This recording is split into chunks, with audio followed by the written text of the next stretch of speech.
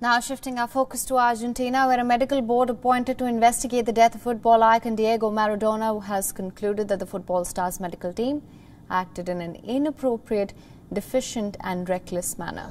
The panel of experts reiterated that Maradona was left to his fate for a prolonged agonizing period before his death last year. The 60-year-old Argentinian succumbed to a heart attack on November 25th, just weeks after undergoing brain surgery on a blood clot. His death had rocked the South American nation where he was revered and further prompting a period of mourning and angry finger pointing about who was to blame after the icon's year long battle with addiction and ill health. Estaban ellos ahí no porque lo querían, por interés. ¿Me entendés? Porque le estaban sacando plata a él. ¿Por qué lo tenían dopado todo el día? Porque le estaban sacando plata. Y bueno, ahora que la justicia haga justicia de verdad, y si que pagar, que la. Argentina's public prosecutor convened a panel of 20 experts to examine the cause of death and undermine, uh, pardon me, to determine if there had been any kind of negligence.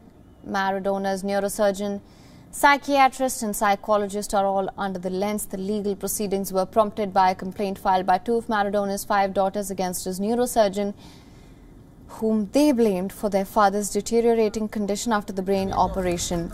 In the 70-page document, the panel said that Maradona had started to die at least 12 hours before the moment he was found dead in his bed.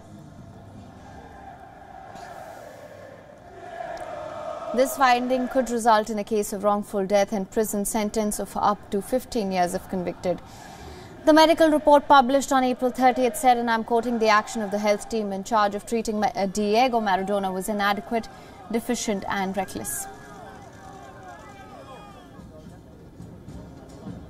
Un par de palabras, al Diego lo mataron. De eso no hay duda y nunca va a haber duda. Al Diego lo mataron o no lo cuidaron.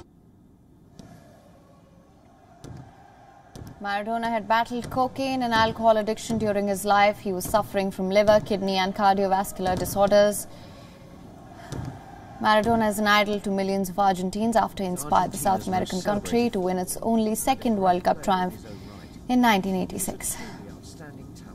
And the ability he possessed was beyond compare. Born on the 30th of October 1960 in Villa Fiorito, Argentina, Maradona's glittering FIFA World Cup career spanned 12 years. And